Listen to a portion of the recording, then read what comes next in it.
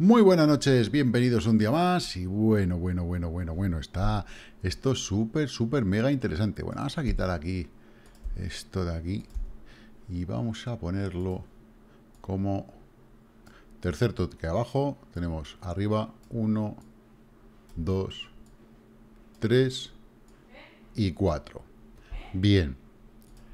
Entonces, bueno, pues tenemos 1, 2, 3 y 4 toques por arriba y 1, 2, 3 y 4 toques por abajo, ¿vale? Vamos a dejarlo de esa manera. Los dos toques que hubo aquí arriba, hubo dos toques abajo. Bien. Eh, pero tenemos que fijarnos en otra cosa. Es decir, mirar, del primer toque abajo tenemos RSI abajo. Del primer y segundo toque arriba no tenemos RSI arriba, ¿vale? Segundo toque abajo sí tenemos RSI abajo. Y luego, tercer toque arriba sí tenemos RSI arriba. Es decir, tenemos, vamos a dibujarlos, porque si no los pintamos, tenemos 1, 2 abajo, 3 abajo. Y arriba, ¿vale? Tenemos 1, pero que no coincide. Está aquí.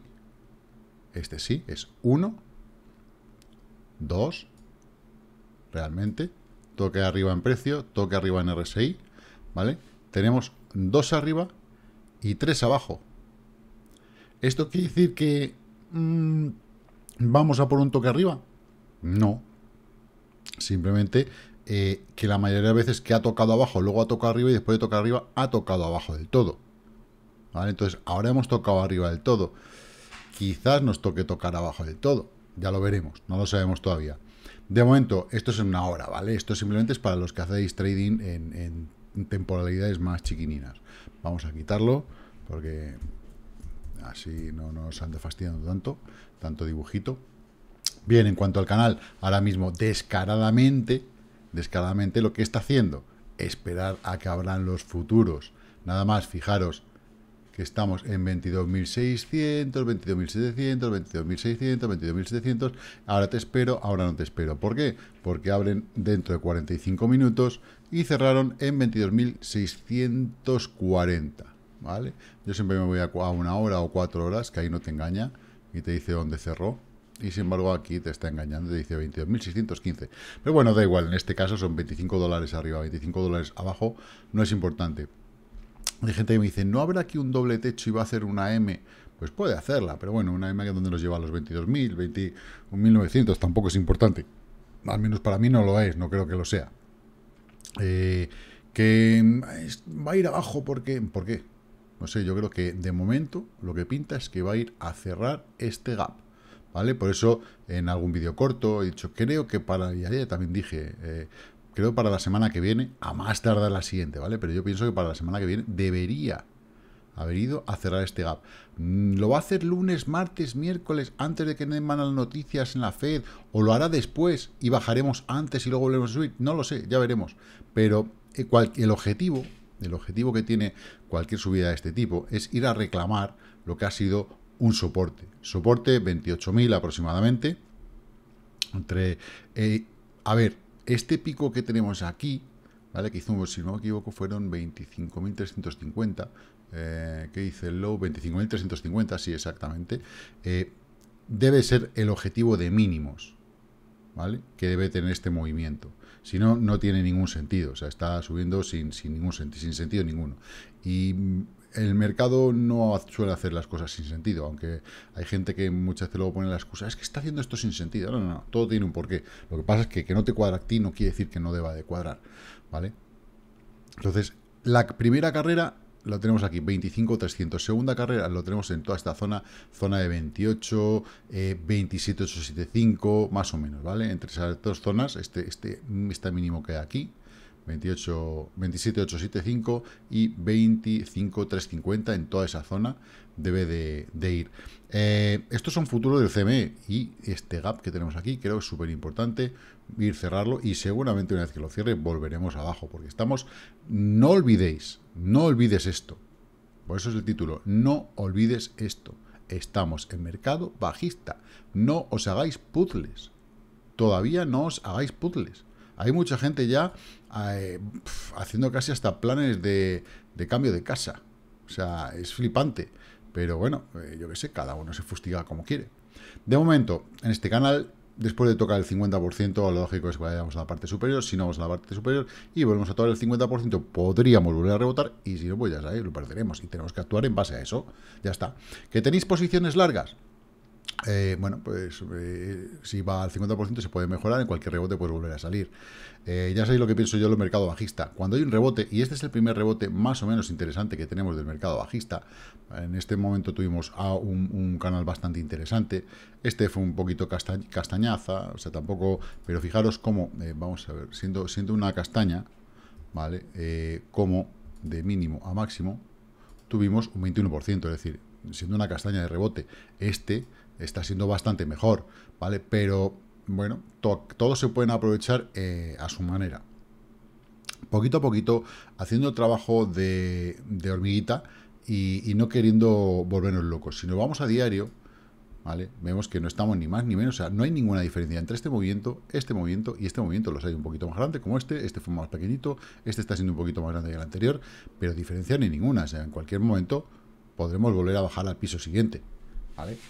Eh, o sea, no hay ninguna, no hay nada que nos diga, ah, ya estamos, eh, ya hemos, ya no estamos en mercado bajista. No, no, seguimos en mercado bajista, ¿vale? Eso que no se os olvide. Inclusive, aunque viniéramos esta línea de máximos a tocarla, ¿vale? En tanto en cuanto no la hayamos roto al alza, esto no se ha acabado.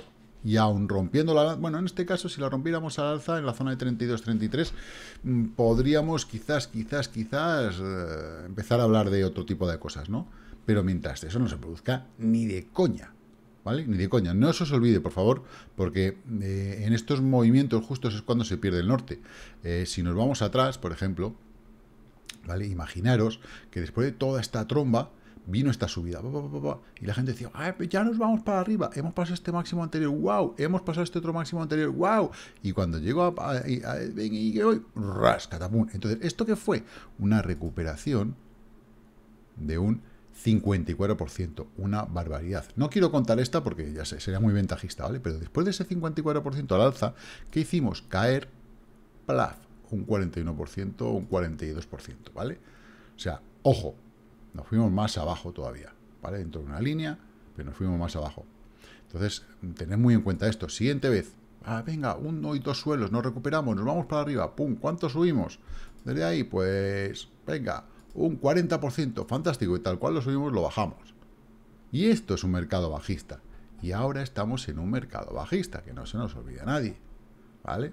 No estamos en un movimiento bajista, como fue este Recuperación del mercado bajista, retroceso, normal, y empezamos a ir al alza cuando viene el COVID, ¿vale? Pero en este caso es diferente. Esto sí estamos dentro de un mercado bajista totalmente. Entonces, vamos a actuar en base a ello, ¿vale? Guardaros bien las espaldas, quiero decir esto, que no se os vaya la olla eh, y procurar mantener liquidez, ¿vale? No os, no os atosiguéis, no os atragantéis, no invirtáis todo vuestro capital en una sola cripto, diversificar un montón, porque si un proyecto es fallido, mañana Cardano se puede ir a la mierda. Y hay mucha gente que tiene todo su dinero en Cardano. Eso es una auténtica locura. ¿Vale? Que no se os olvide, ¿vale? Simplemente hacer esa puntualización.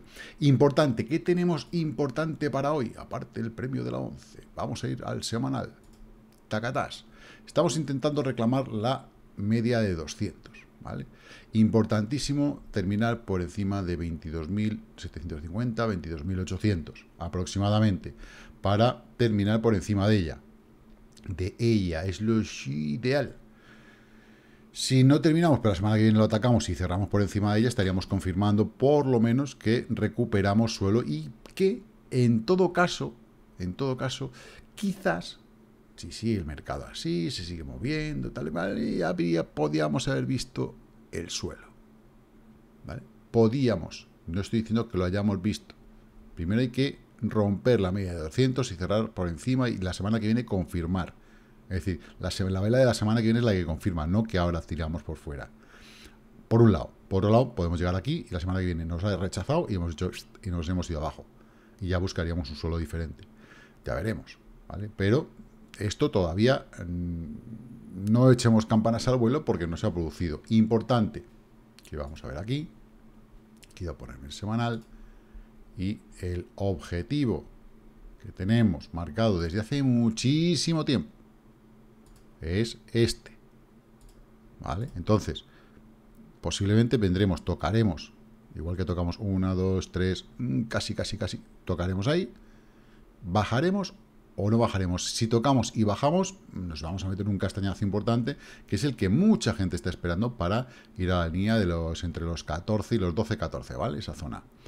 Eh, si no, pues bueno, romperemos al alza y seremos felices y comeremos perdices. Pero mientras no rompamos esto, olvidaros de lo demás, ¿vale? No, vuelvo nuevamente, no nos hagamos puzzles, ni nos hagamos mal llamadas o bien llamadas pajas mentales, ¿vale? Em, en cuanto al resto del mercado, la dominancia, bueno, Ethereum lo está haciendo bastante bien. Importante, em, creo que esta zona de resistencia va a ser bastante dura de pelar. Si la rompiese, si se fuera por la media de 200, que es algo bastante natural después de haber roto la de 100 en diario, bueno, pues podría ser un buen rally. Atentos a, esto porque hay muchas noticias muy positivas sobre Ethereum. Entonces, bueno, eh, vamos a ver qué pasa a lo largo de julio e incluso agosto, ¿vale? Primera semana de agosto puede romper esta zona y empezar a ir arriba, igual que Bitcoin. Eh, vamos a ver cómo, cómo, cómo, cómo, lo maneja el mercado, cómo, cómo lo vamos absorbiendo, pero, pero tiene bastante buena pinta este, este mes de momento, ya veremos a ver después la realidad. La dominancia de Bitcoin sigue cayendo, todavía no ha llegado a la zona que habíamos dicho de 41 y medio, así que bastante bien, esperando que, sí, que eso siga su camino, buen, buen tramo para altcoins, eh, la dominancia de, del títer sufriendo, estamos en 4 horas, nos ha dado un cruce negativo con la línea nitro bajando, con lo cual posiblemente siga bajando, eso es muy bueno para Bitcoin. El oro parece que quiere empezar a rebotar y a, a, retomar la media de 200 a la zona de 10, 1772, eh, así que bien, estaría bastante bien que recuperase inclusive un poquito más. Y ya, bueno, pues hay alguna cosilla que ya, ya, ya tengo una media un poquito más baja y más o menos la media de 200 a mí me vendría bastante bien. De ahí para arriba, fantástico. Y luego, bueno, las altcoins, pues bastante bien. Fijaros, Cardano, 0.51. O sea, me está reclamando decir, eh, esta cuña que tenemos aquí, la rompo, me voy al alza, a ver si... Esto es semanal, eh. Fijaros, la media de 200 ha tocado y según ha tocado y se ha parado. A ver si sigue y es capaz de ir a la EMA 20. Con ese movimiento yo creo que sería bastante, bastante interesante.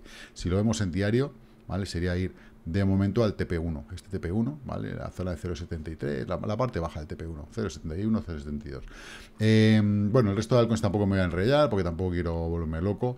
Así que si no habéis hecho ninguna petición y no me la hagáis, por favor, hasta que no vuelva de las vacaciones, que me quedan ya muy poquitos días. Y en breve, pues estaré con vosotros ya de una forma más directa porque aquí con el portátil poco más puedo hacer. Así que bueno, chicos y chicas, no me enrollo más. Vamos a terminar con Bitcoin, como hago siempre una hora, está simplemente esperando a que abran los futuros y decir qué camino tomamos. Creo que es por lo más normal, ¿vale? Tal y como ha hecho el movimiento, es que caiga la media de 50, zona de 22.575, 22.600 más o menos, pueda caer ahí, tocar y luego ya empezar hacia arriba, si tiene que ir hacia arriba.